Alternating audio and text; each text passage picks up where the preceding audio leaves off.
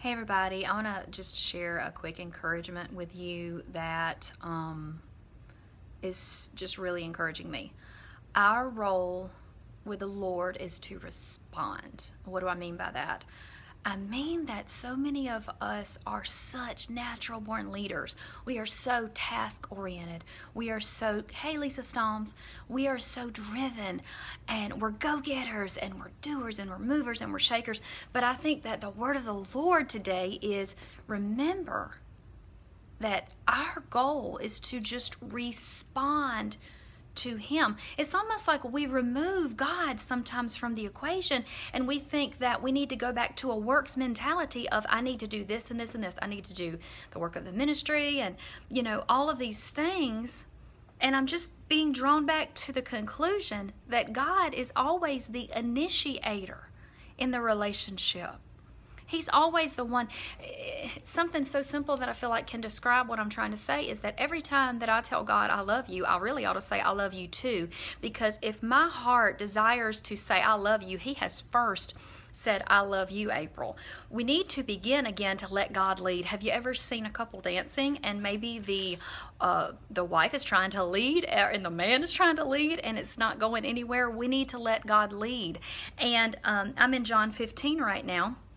John 15 says, I am the true vine, and my Father is the vine dresser or the gardener. Every branch in me that does not bear fruit, he takes away, meaning God. We've got to remember that God has a work in ministry. I know that sounds like, of course, duh, but I think that too many times we almost remove him and think that we have to do it all. And we don't. He initiates every part of it, and we can't run ahead of him and we can't lead. God must be the one that is leading, and that we are just responding to him. So he takes away, um, he takes those away, and every branch that bears fruit, he prunes God prunes. He's the initiator that it may bear more fruit. You are already clean, Jesus says, because of the word I have spoken to you. Why are we clean?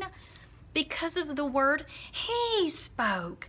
We are clean because we are cleansed in response to what Jesus did and we believe it. Our job is believing, not leading. Believing. So it's just taking so much pressure off of me this morning. Hallelujah. Let's keep reading in John 15. This is going to be quick. I've got someone coming over um, in just a few minutes.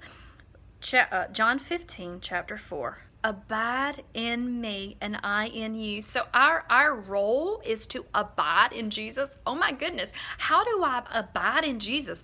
I feel like for one moment I can't even keep my mind settled or my heart settled for one moment. How can I possibly? Well, he answers it and says, um, right after that, for without me, you can do nothing. Lord, I need you to help me to abide in you. God, I need you to call me. I need you to draw me. And then my role is responding. My role is responding. And so Jesus calls through the Holy Spirit inside, and we, our role is responding. We don't have to initiate. Listen, He initiates every conversation. Every time you feel led to open the Bible, He started that. Every time you feel led to pray, He began that. Every time you feel led to help someone, He began that. All that we are called to do is to respond. We we remove God and we think that we have to do works. And we have to do these things on our own and we forget that anytime anything good we desire anything good it started with him calling us. Let's let's keep reading here. Verse 4 abide in me and i in you as the branch cannot bear fruit of itself unless it abides in the vine. Neither can you unless you abide in me. So the key to being able to hear him is to abide in him and I believe the way to abide in Him is to believe Him. Believe. We're not going to be perfect. Oh my goodness. We're not going to be able to 100% obey Him. I, I want to, but He he came because we couldn't do it. We couldn't do it. I can't do it. We have to have Him to even help us abide. Let's keep reading. I am the vine and you're the branches. He who abides in me and I in him bears much fruit. How many of you want to bear fruit? I want to bear fruit of love, peace, patience, joy. And I'm trying to bear fruit, but I'm skipping my role. My role is abide in Him, which means respond when He calls. He takes care of the fruit production. You see that? We're trying to produce fruit. He takes care of that.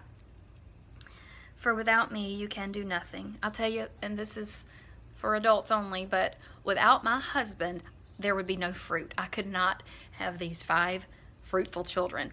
Without Jesus, without us abiding in Him, intimacy with Him, responding when He calls, there's no fruit in our lives.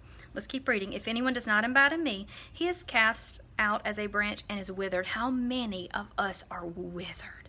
Why? Because we're not abiding in Him by responding when He calls.